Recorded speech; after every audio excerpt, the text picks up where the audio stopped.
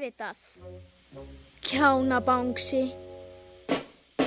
Bánsímón varð hetja fyrir að bjarga grísla og grísli varð hetja fyrir að gefa uglunni húsið sitt í beigitrínu.